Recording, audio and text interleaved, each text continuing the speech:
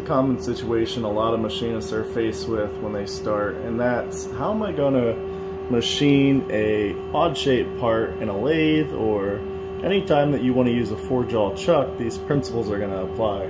So as you can see here, we've got a rectangular part and we've installed a bevel on the inside.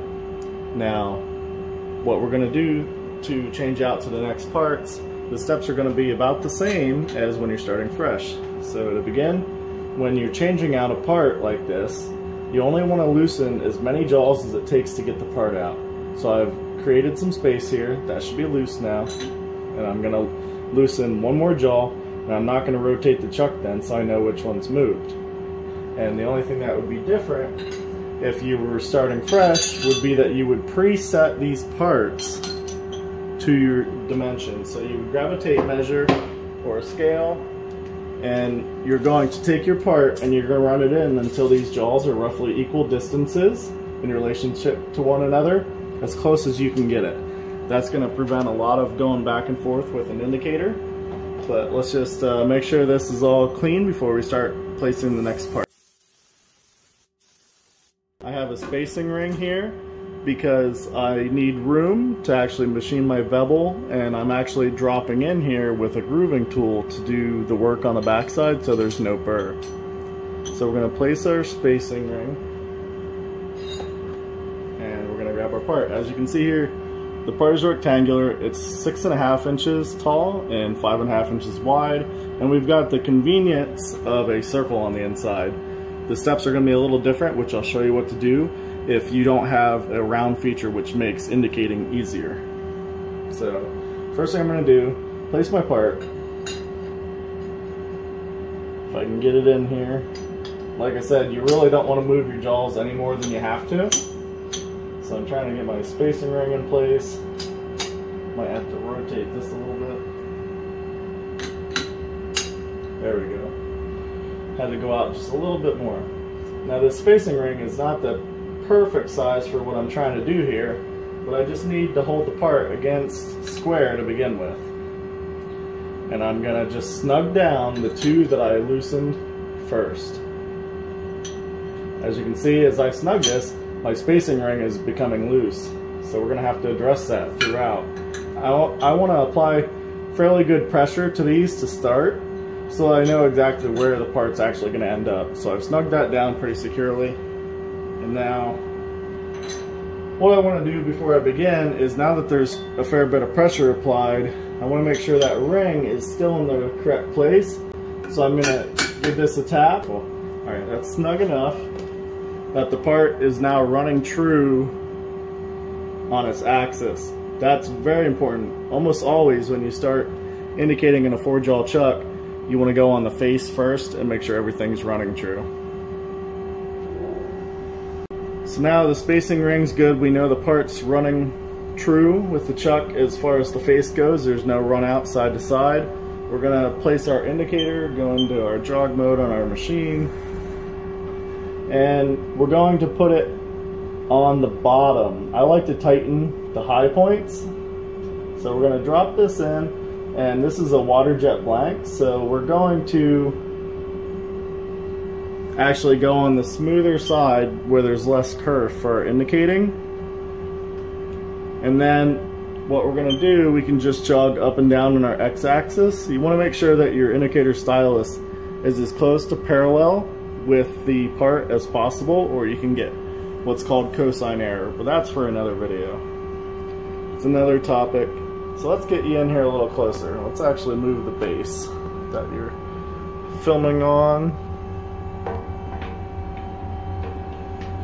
You see I've just got a Noga base stuck fast to the turret here. And we'll actually bring this in and get a better view of what's going on. I'm gonna need to get enough of the chuck so you can see what's happening too. Alright, this is gonna be difficult around a camera but I can usually indicate even an odd shaped part like this in less than a minute. So I'm jogging up an X, and if you've just freshly installed your part, chances are your travel on your indicator will not be sufficient unless you have, say, a hundred thousandths or more. Unless you're very good at pre-placing your jaws. So if you ha don't have enough indicator travel, you're just basically looking for any gap here, and you're just going to keep moving your part, as you're going to see here in a second, until it runs as concentric as possible before you even apply your indicator. So let's apply our indicator. You see the needle starting to move. And let's look for the highest point. Okay. Looks like our highest jaw is right here. So let's apply some more travel to our indicator. And we can actually take that to a nice even number. This is actually upside down as you're looking at. Let's spin it just to make your life a little easier to see. So as you can see here, we're on zero. That's our highest number. And our lowest number is roughly 10, which I would say is this jaw. Sometimes you can have a situation where the lowest point is actually between two jaws, in which case you're going to need to adjust both of these the same amount relative to one another. But there's our low point, here's our high point, right? So now we're going to take the chuck and we're going to tighten our highs. So if that low point was 10, we want to go halfway. We want to go to the 5. And if this will not move, we're going to have to loosen the opposing jaw that's on the bottom. There we've gone to the 5. Now, as we rotate this, you got to bear in mind this is a water jet blank, so things are not going to be perfect with it. And after one adjustment there, you can see we are spinning within thousands, which is very good for a water jet blank. Now the final step here is you have to ensure that your jaws are all tight. So come to each jaw, we see we're a little different there, apply a little pressure, come to the next jaw. This is a little bit easier when you have a part that's actually true on the inside to see perfect run out. It, it, it, we're just not going to be able to get perfection with a rough blank like this. The surface finish and the uh, roundness of the part just will not allow it. So as we look at that, we're within a few thousandths. This is a 5 tenth indicator. Great. Now, what we need to do next, since we know that that spacing ring was actually not tight is we need to tap. What we need to do here, just to ensure this spacing ring doesn't move around while we're machining, I'm going to try to place it roughly in the center of the travel and then tap on the face of the part until I know that it's seated well.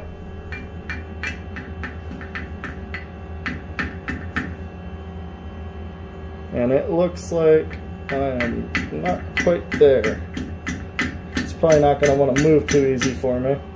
But once you have everything seated with your spacing or whatever you're trying to do, you have to make sure this face is still running true. And as I look at this, it appears to be, I would put an indicator on here if it's a part that matters. But the final thing then is we're going to put our indicator back on and we're going to check and make sure any movement we did on the face has not actually moved the part on X. So as we're looking here, we'll apply some travel to the indicator and if anything has moved here, you're going to have to go back and forth between the face and your movement on X. So that was a little too easy, right? Well, things are not always so easy right now my ring is not exactly where I would like it to be. I'd like it to move up a little bit. So in order to get that to happen, I'm to loosen one jaw and that's going to throw everything out of whack. So as I move this up now to where I know it's seated and we tighten this down, chances are we're not going to have perfect run out anymore. I'm spotting my ring, making sure it's contacting everywhere on the face that it's supposed to be, and let's tap this guy back in. Good. And have we moved? We're back on the inside, and it looks like we're still as good as we had gotten it initially. Now, here's a step that you will likely have to do at some point in your career. And that is to go on a surface that is not regular, like the inside. And what you're going to do then is you're going to make sure you have enough travel that when you place your indicator, you can get a reading here and clear all your jaws. Let's move the camera up some. This can be tricky. What you're going to do here is you're going to actually jog onto the part and hopefully you are within enough of your travel range that you're going to sweep back and forth until you find your lowest point. And as you can see here, I'm just going to rotate this a little bit so you can see it. It's going to mess up our actual reading, but make it a little easier for you to see. Let's move the camera a little bit here. Our lowest point on the outside looks like it's around six or seven, seven-ish, right? Then you're going to jog off the part and then you're going to actually rotate the part 180 degrees and you're going to jog back on the part. And if you do not get the same reading, then you know that you are not actually centered. You see we're right on about six. So that's very good for what we're doing here. With water jet blank like this, we know the inside is running true to the outside very well. It's very close. It's about a thousandth best as I can tell.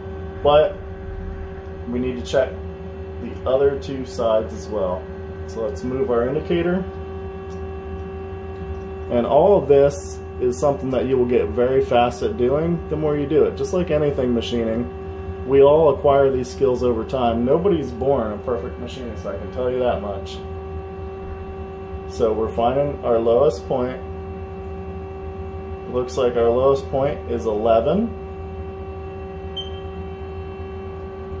We're going to jog off. Remember that number, 11. We're going to jog onto the other side. And find that lowest point. And looks like I just bumped my indicator a little hard when I come on there. We're at about six and a half. So remember six and a half and don't do what I just did. Come back to the other side and make sure we're closer to the middle. This is an old indicator, so it's not perfect. All right, and it looks like we're on about 10, so we're we are off. We are on six on the other side, about four. So overall, we're within about two thousandths to the center. Not too bad. It's fine for a water jet blank, but when you're doing parts like this, this is something you need to get really fast at doing. And if you've got a part that you need to get to move substantially and you've got your indicator placed and you find your high point, you're going to be loosening the low. If you can't get it to move by tightening the high, loosen the low, tighten the high, go half the distance like we showed in the beginning and you'll be there.